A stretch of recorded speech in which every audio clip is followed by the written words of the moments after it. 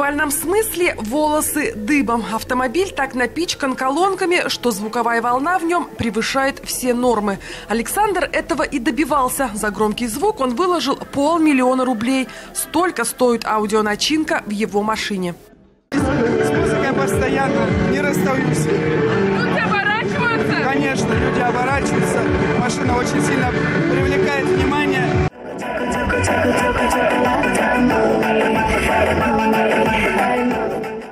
Техно, транс, рэп, татарская эстрада. Из каждого автомобиля звучит свой репертуар. Любители езды под громкую музыку собрались на предпоследнем этапе чемпионата автозвука. Встретились, чтобы выяснить, кто самый громкий.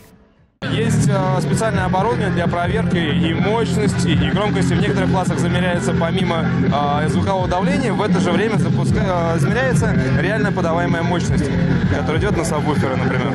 А есть специальные микрофоны для измерения фронтов, то есть фронт, тыл – это то, что находится в дверях, в багажнике у людей. То есть для каждого есть свое измерительное оборудование.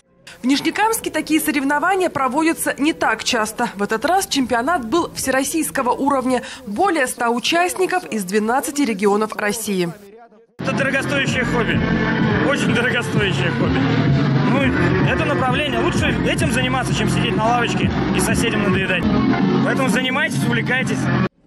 Звуковое давление, качество звучания. Самых лучших выбирали в 20 номинациях. Причем марка автомобиля не играла никакой роли. Главное, чтобы было громко. Лучшие получили пропуск на финал чемпионата. Пройдет он 14 сентября в Самаре. Анастасия Шакирова, Евгений Лызаев. Новости НТР.